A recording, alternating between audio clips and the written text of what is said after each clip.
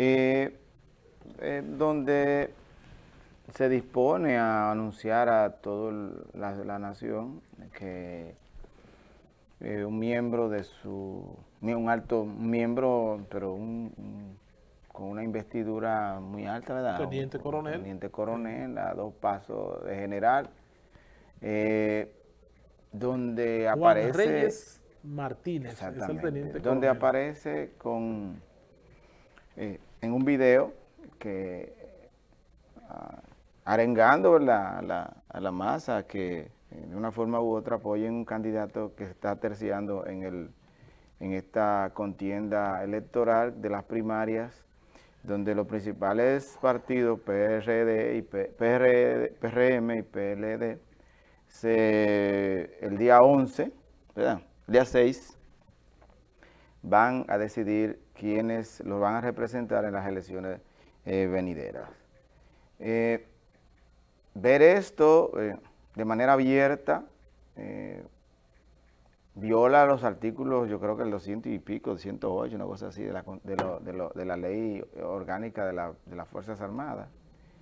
Y inmediatamente lo retiran de, de, las, de las vías, de las filas del, de, la, de nuestro ejército nacional.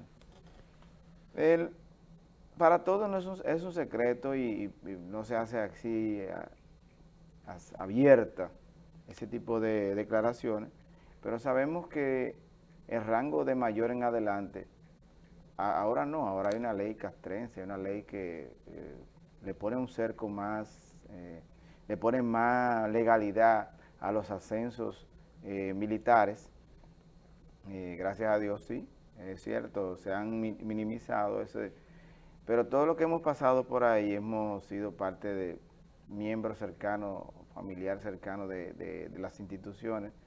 Eh, yo estudié mis dos especialidades, yo las hice en un hospital militar y uno ver eh, muchachos de, 21 años ascendiendo de manera rápida en, la, en las filas militares en esa época, eso, eso, era, eso era algo fácil.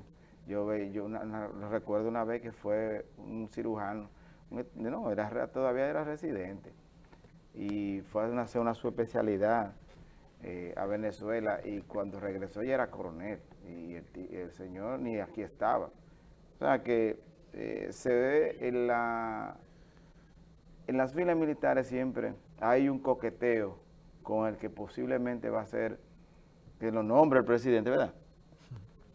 El jefe. Y si, lo nombra el presidente, el jefe político. ¿Sí o no? Y si el jefe lo nombra, es porque ese militar tiene acercamiento, no por, no por los méritos. Aquí no se nombra nadie por mérito, ni por curso, ni por nada de eso. Aquí nadie, aquí nadie es ministro de que porque él no consulta de, de, lo, de lo que está haciendo. Eso no es verdad. Eso no es verdad y eso lo sabe todo el mundo. Ahora bien, de que la fuerza, ya la Fuerza Armada, de manera descarada, lo hace en un video, ya no solamente está violando las, las leyes eh, castrenses, las leyes militares, sino también le están dando un mensaje y uno en los tiempos sombríos, aquellos donde los 16 de mayo, los militares que cuidaban las urnas y los militares que cuidaban los centros de votación, tenían en la, eh, en la, en la, bayoneta una bandera del partido de ese, de ese entonces. Y sabemos las, lo, lo, que eso representaba en esa época. No queremos volver a esos, a esos tiempos. Creo que es un ejemplo. Creo que no es el, es único tampoco. Y también que hay que investigar a fondo ese hecho, porque no es un hecho aislado. No es un hecho aislado y hay que investigarlo. No se va a quedar ahí, que vamos a tumbar eh, la punta del iceberg, se fue el coronel, ya se quedó el problema ahí. Porque alguien lo grabó, un coronel que ya se ve que ya eh, a punto de pensión, no va a perder su pensión por medalaganariamente y por alegremente así, porque se, se, se armó de amor hacia un candidato y lo hizo público. No, ahí hay algo más. Ahí hay que investigar.